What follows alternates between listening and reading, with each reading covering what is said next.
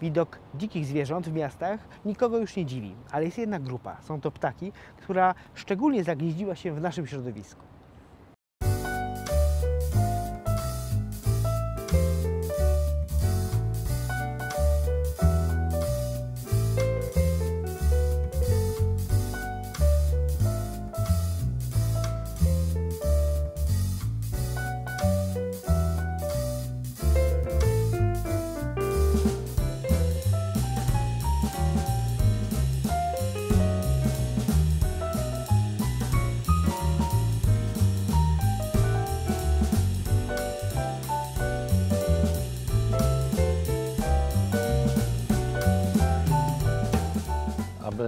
O ptakach w mieście, należałoby w ogóle wyjść od podstawy, od zagadnienia, czym z punktu widzenia przyrodniczego czy środowiskowego jest miasto.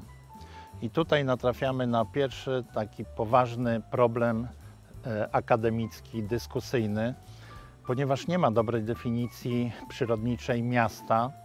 E, możemy patrząc na różnorodność enklaw, które występują na terenach miast, czyli patrzymy na zieleńce, na trawniki, na stare budownictwo e, śródmiejskie, na osiedla nowo wybudowane budynków jednorodzinnych czy wielorodzinnych. Patrzymy na podmiejskie enklawy zieleni w postaci lasów, pól uprawnych, także na śródmiejskie ogródki działkowe może nawet e, na małe enklawy, jakimi są place zabaw ze swoją infrastrukturą. To wszystko tworzy specyficzne mikrosiedliska, e, tworząc całe bogactwo mozaiki siedlisk dostępnych dla zwierząt, w tym również dla ptaków. Trudno powiedzieć, aby miasto było e, ekosystemem w rozumieniu przyrodniczym, ale niewątpliwie jest właśnie taką mozaiką różnych tworów, różnych mikrosiedlisk utworzonych w dużej części dzia przez działalność człowieka, na które nakłada się zwykłe funkcjonowanie przyrody i to daje efekt ogromnej różnorodności siedlisk dostępnych, w tym również właśnie dla ptaków. Stąd być może właśnie pojawia się to poczucie dużego zróżnicowania gatunkowego a czasami również bardzo dużej liczebności poszczególnych gatunków ptaków właśnie na obszarach miejskich.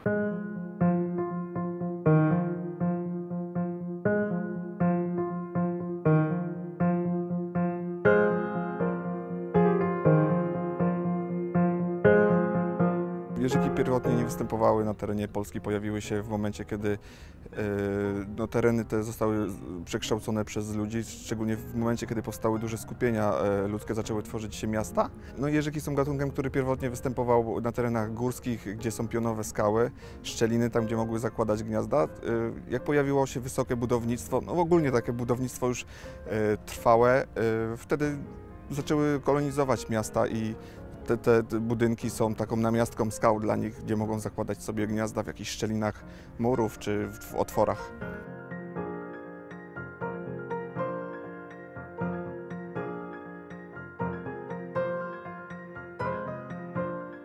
Jeżyki są to e, ptaki, które e, bardzo dużo latają. E, są to ptaki, które poza okresem lęgowym właściwie nie siadają. Jeśli odlatują od nas gdzieś w okresie końca lipca czy połowy sierpnia e, do następnego okresu lęgowego, czyli do początku maja, nigdzie nie siadają. Cały czas ten okres spędzają e, w locie. Śpią w locie, żerują także w locie. Są to ptaki, które zjadają bardzo dużo owadów i należałoby dbać o to, żeby w miastach miały miejsce, miejsca na zakładanie gniazd, bo są ptaki, które żywią się tymi owadami, które są no, dla ludzi trochę uciążliwe, tak jak komary, meszki. No niestety ostatni okres wzmożonej termoizolacji budynków i remontów e, spowodował, że te liczebności jeżyków w Polsce, w dużych miastach e, drastycznie spadły. Mm, ale w czasie takich remontów można zadbać o miejsca dla jeżyków, bądź to wywieszając dla nich e, budki zamiast, znaczy w miejsce za mm, wyremontowanych otworów, bądź po prostu zostawić niektóre otwory, gdzie one mogłyby te gniazda zakładać.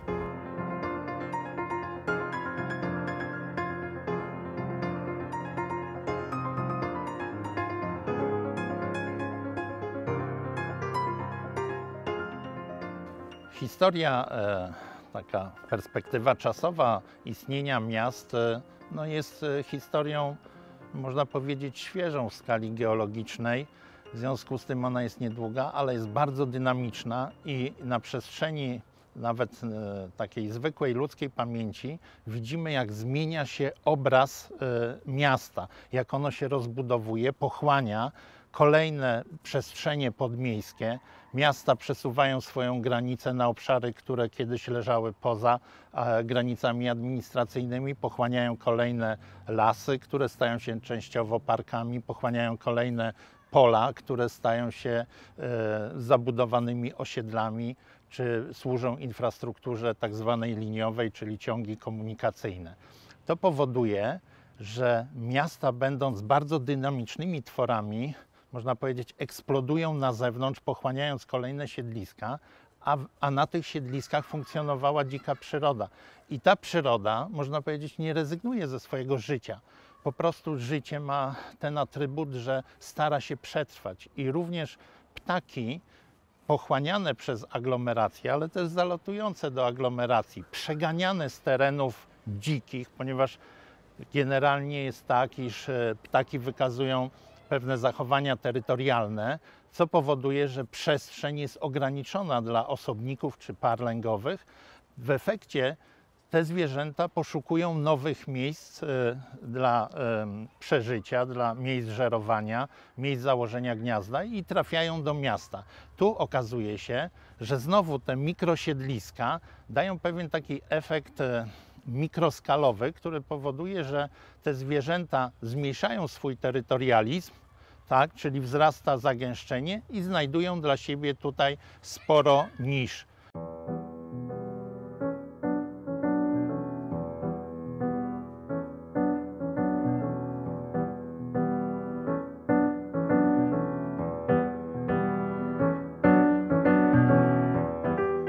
Pustułki występują obecnie głównie w miastach. Populacja ta, która występowała na terenach otwartych, takich rolniczych, y, jest y, obecnie y, w zaniku. Wiąże się to z tym, że ptaki te znalazły bardzo dobre siedliska właśnie lęgowe na zakładanie gniazd w miastach, na właśnie wysokich budynkach, na jakichś innych konstrukcjach wysokich, natomiast wykorzystują tereny otwarte głównie tylko do polowania na terenach rolniczych obecnie, e, no, tak jak mówiłem, ta populacja jest bardzo nieliczna. E, No, przenoszą się po prostu do, do miast. Pustułki y, polują przede wszystkim na otwartych terenach. Nawet te, które tutaj mają miejsca lęgowe na wieżach kościoła, latają na przykład na, na, na, lotnisko, czy tutaj na drugą stronę Wisły, na pobliskich polach polują. Polują głównie na większe owady i mm, małe gryzonie. No, związane jest to, jest to ptak, który y, poluje mm, bardzo aktywnie, zawiesa w powietrzu, obserwuje y, teren. Jak dostrzeże jakąś ofiarę, wtedy poluje na nią.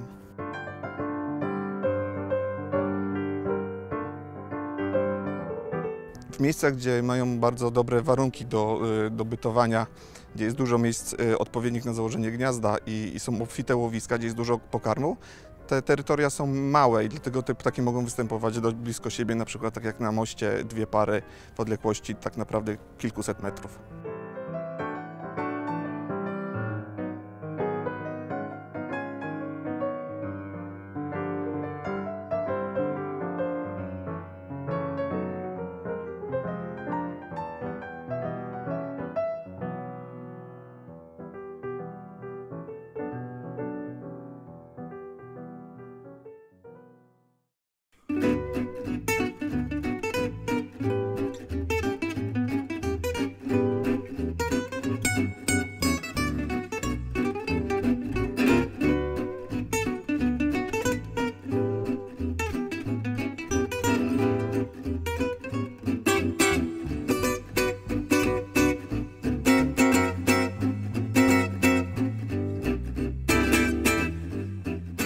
Wiemy, że ptaki w mieście są przyzwyczajone do małych drapieżników, takich jak pustułki.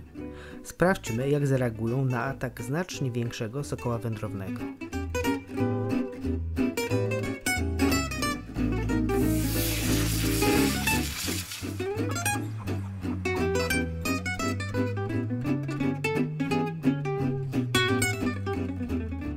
Parki miejskie są swoistą e, oazą e, w miejskiej, w miejskiej dżungli. Jest tu dużo starych drzew, które ptaki wykorzystują w czasie zimowym i letnim. W czasie letnim wiadomo, mogą wykorzystać to jako miejsca lęgowe. Jest tu pełno żywopłotów, dziupli, które, które są przez ptaki wykorzystywane. W zimę na pewno też tu mniejsza presja drapieżników występuje i ptaki też mogą liczyć na dokarmianie przez, przez mieszkańców.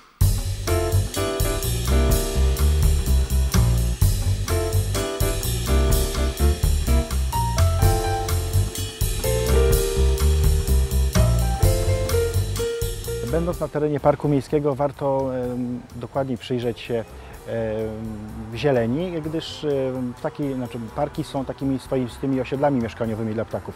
Można je spotkać i w koronach drzew, w dziuplach, które są w pniach, jak i w żywopłotach i zieleni, która jest u, u podstawy pni.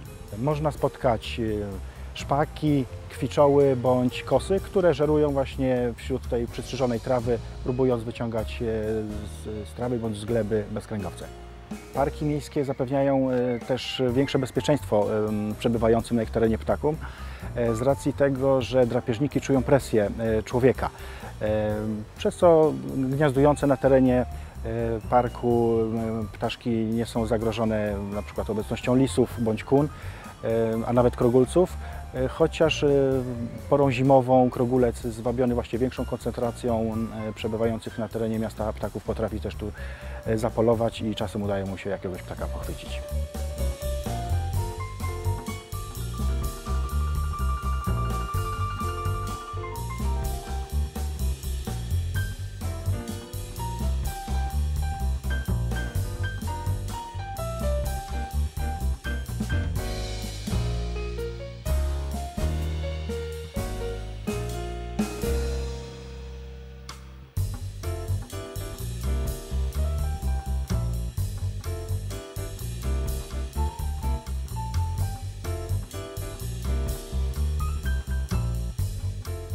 Wiemy, że w aglomeracjach miejskich średnio licząc temperatura roczna jest od pół stopnia do 3 stopni wyższa niż na terenach podmiejskich.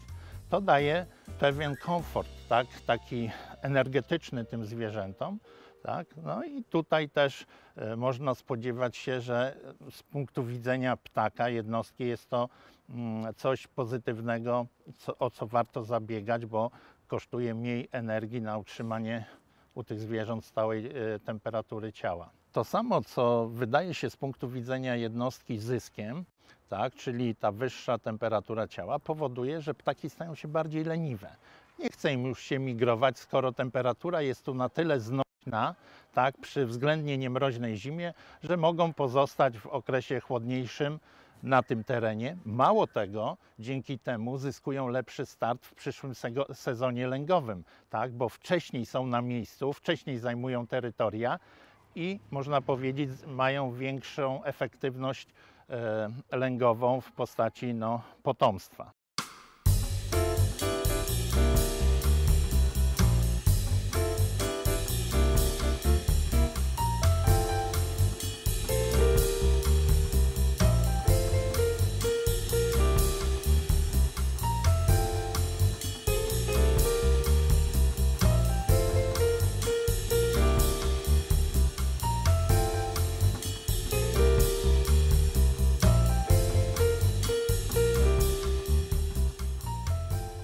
Widzenia mieszkańca miasta, takiego jak ja, no miło jest obserwować ptaki, a już wiosną słyszeć zawodzenie samca wyznaczającego swój teren i wabiącego samiczki. No to jest piękne uczucie i myślę, że nie ma człowieka, który słyszy i nie przeżył tego zafascynowania wios tym, tym wiosennym boomem e, ożywienia w przyrodzie, kiedy wracają do nas ptaki śpiewające z odległych terenów, dalszych lub bliższych i po prostu pobudzają nasze zmysły, dając nam też impuls do radośniejszego być może funkcjonowania.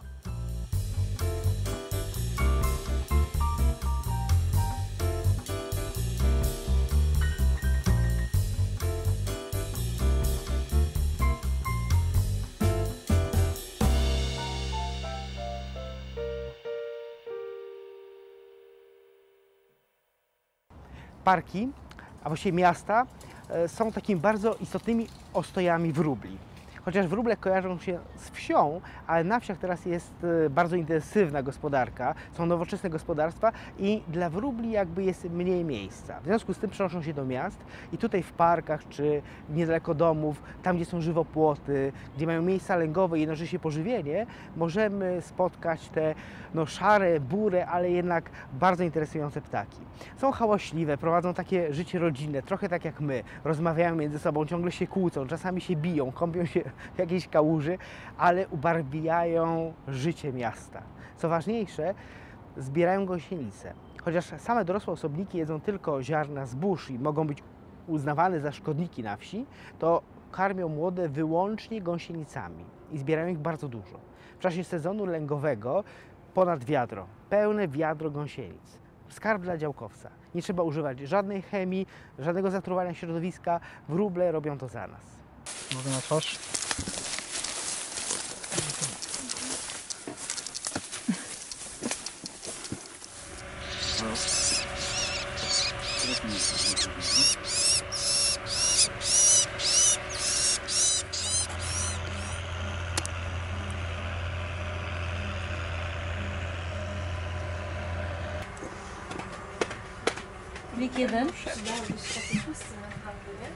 Sprawdza tłuszczenie.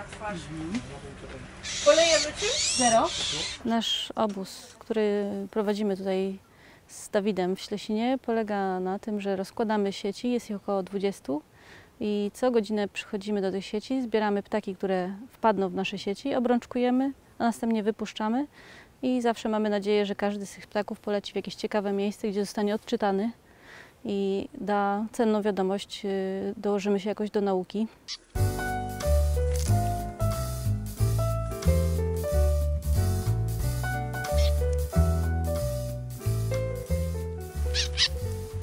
Tu pokrzewka ogrodowa. Może dwa gatunki pokrzewek. To są trochę takie ptaki ciernistych krzewów. Bo one zakładają swoje gniazda właśnie w postaci takich czarek z, z, malutkich gałęzi, z patyczków właśnie w krzewach. Bardzo często są to jakieś kolczaste krzewy, w których jest bezpieczniej.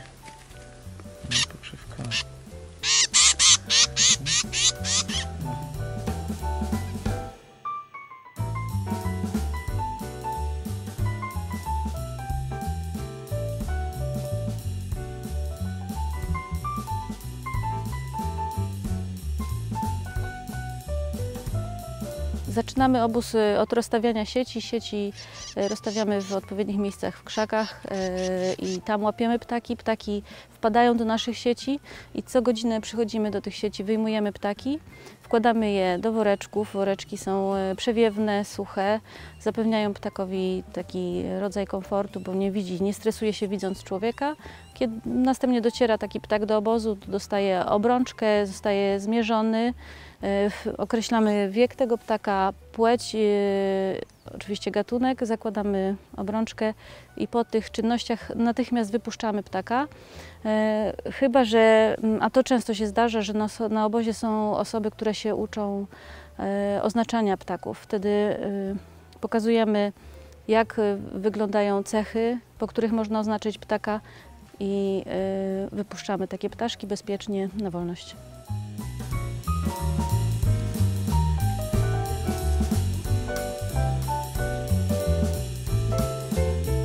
Zakładam właśnie obrączkę K numer 12. Zgadza się? Y, Wiek po jeden. Sprawdzę płeć. Samiec. Ojej, ale fajnie. Jakiś. Ja? Ja? Mogę ja? Jakiś liczny ptaszek.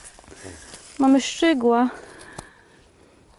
No proszę, i teraz szybciutko wyplączemy takiego szczygła.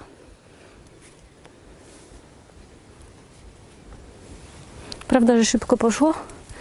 I do woreczka. Jeden z bardziej kolorowych ptaków na naszych łąkach.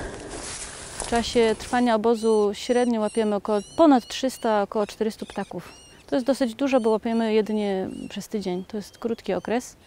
W takim razie mamy dobre wyniki.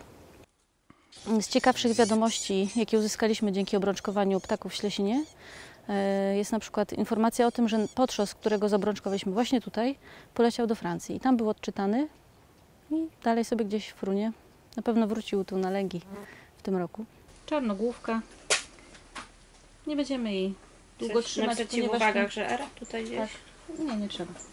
E, Ten ptak przed chwilą był w naszym obozie, Ach, tak. a teraz gdzieś poleci i może nam przynieść jakąś wiadomość.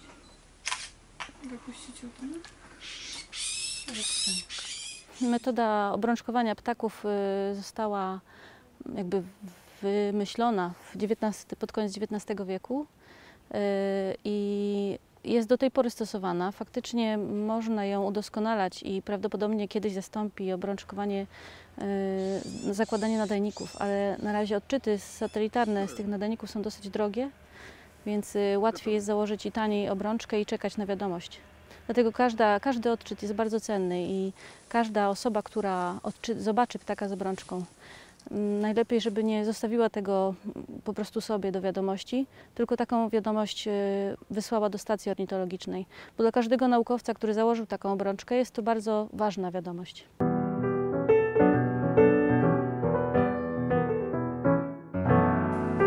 To zapewne będzie czarnogłówka, ale się dowiemy po obozie.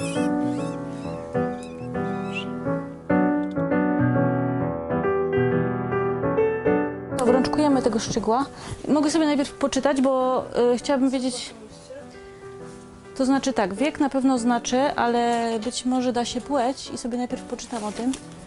Chyba, że może dużo przepierzyć. Obrączka numer 13 prawdopodobnie, zaraz zobaczę. 13. Ptaki y, obrączkowane, łapane w sieci y, mają zapewnione bezpieczeństwo, y, a to dlatego, że sieci są kontrolowane regularnie. Sieci są obsługiwane przez osoby, które potrafią wyjmować ptaki, bezpiecznie wyjmować ptaki z sieci. Y, Chodzimy do sieci co godzinę, jeśli pada deszcz, to nawet częściej, żeby ptakom się nie stała krzywda. Każdy nowy załogant jest y, przyuczany do wyjmowania y, ptaków. Wszystko jest kontrolowane i y, wiemy, że ptakom się nie dzieje krzywda, że obrączka to nie jest jakieś zło, bo ptaki są nawet kilkakrotnie w ciągu życia, nawet w kolejnych latach łapane z tymi obrączkami, prowadzą normalny żywot taki jak każdy inny ptak.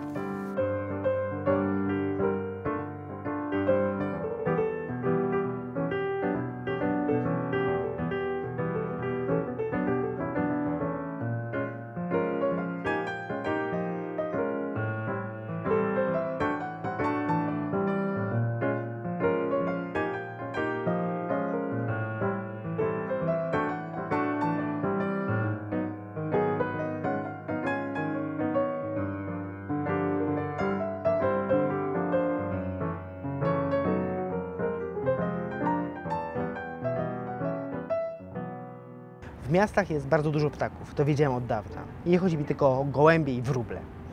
Ale o tym, że w Toruniu stwierdzono ponad 100 gatunków lęgowych ptaków, nie miałem pojęcia. O czym to świadczy? Świadczy to o tym, że budując dobre i przyjazne środowisko dla człowieka, przy okazji zbudowaliśmy bardzo atrakcyjne środowisko dla ptaków.